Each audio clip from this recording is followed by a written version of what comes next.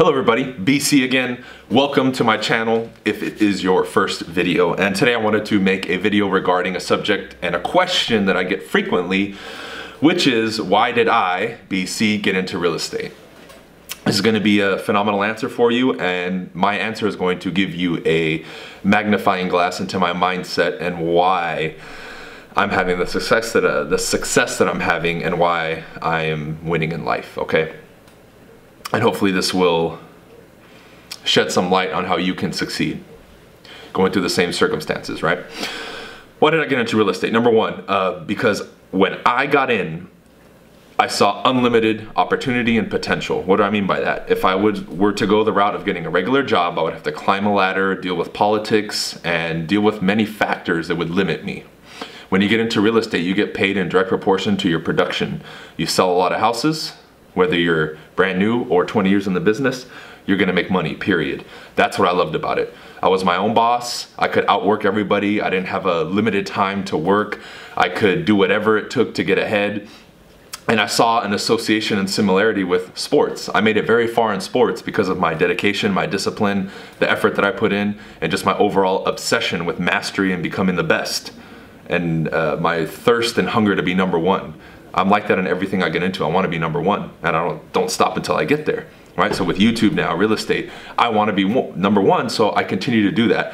At the same time, I saw a business opportunity. I knew eventually from the top guns that I was studying that I could make a business out of real estate. Not just me hustling day to day, but I could grow a team and build my own empire with it. All right. So that unlimited growth and opportunity. Number two, the same way, and this also is related to my athletic background and my obsession with it, the same, I knew the same factors that people saw as difficult or insurmountable obstacles, you know, uh, and things of that nature, I knew that that would be my winning factor.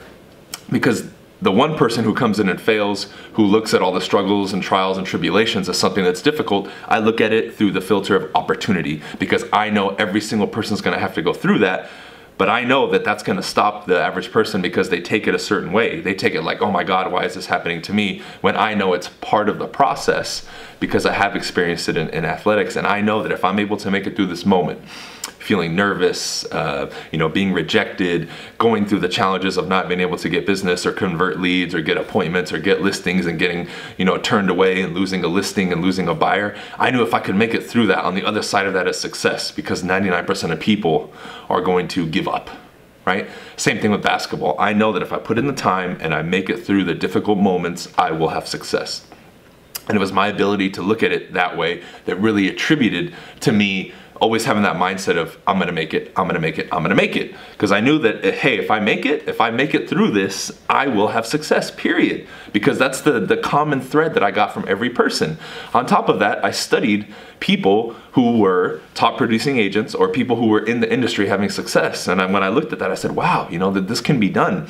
And the fact that you could come into real estate with no education, no background, no formal training, and remember, I'm somebody who played basketball, didn't own a suit, and had zero sales training. The fact that you could do that, come in, learn, some basic fundamentals, master them and have success, I was just like, wow, this is this is incredible. I don't have to put any money down. Very small amounts of money for licensing fees. I can study people who are successful. I don't really have to market myself. I can just, you know, call people and go door to door and build a business. I was like, wow, th- this seems too good to be true. But in the process, like I've just previously covered, you're gonna have to go through struggles. But I looked at that as opportunity, not something that hindered me. It was an opportunity. So that's basically why I got into the business is I saw that what most people would see as a mountain, I would see as a path. Right? I know that people are going to struggle when it comes to um, challenges and adversity. When I, especially because of my sports background, saw it as an opportunity to get ahead and be different. Right? And that's basically why I got in. I saw unlimited growth and opportunity and I knew that going through the, the process, going through the door knocking, the rejection, the, and everything else would mold me into an even stronger human being. Um, it's like I tell people, it's like a blacksmith forging a sword or a weapon. You know, they're they're heating it up and hammering it, heating it up and hammering it, and you're just forged into this this powerful thing. And I knew that in order to become successful, I'm going to have to be broken down.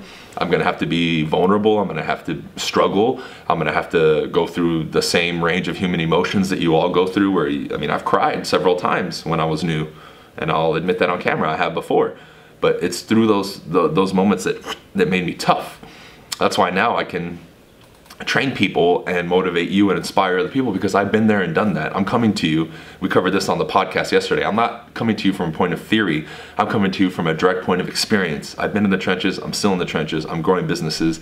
I'm going through the day to day just like you. So when I speak to you, you can feel that because it's true and it's honest and it's coming from that experience. I'm not just reading a book and telling you. I'm telling you from having lived it, breathed it, and done it. All right.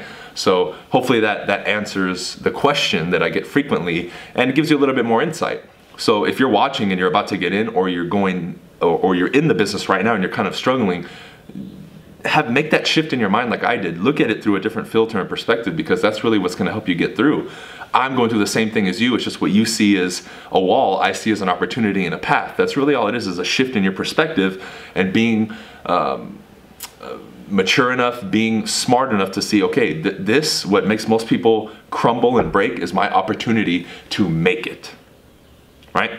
Cool. So if you guys need anything from me, books that I recommend, any of my products, uh, by the way, I have a new product coming out called a Tactical Tongue that's going to be even better than Elite Communication and Dynamic Persuasion. That's going to be released April 4th. Everything is in the description below.